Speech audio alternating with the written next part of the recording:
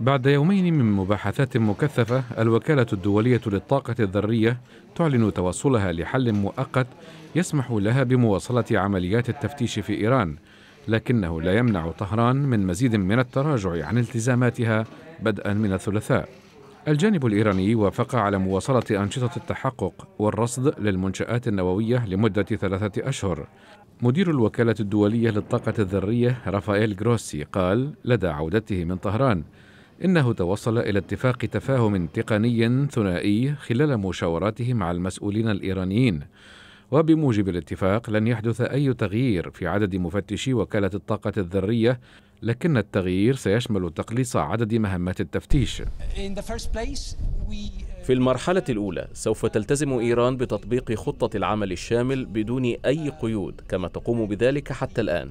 في المرحلة الثانية توصلنا إلى تفاهم فني ثنائي يسمح لوكالة الطاقة بالقيام بأنشطة التحقق والمراقبة الضرورية لمدة تصل إلى ثلاثة أشهر.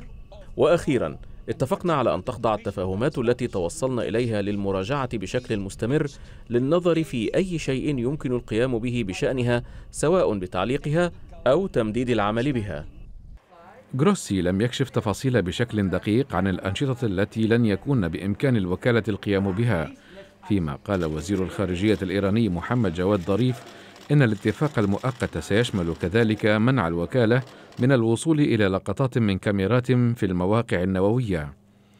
في الأثناء يتواصل الشد والجذب بين طهران وواشنطن بشأن الطرف الذي سيخطو الخطوة الأولى في طريق العودة إلى الاتفاق النووي.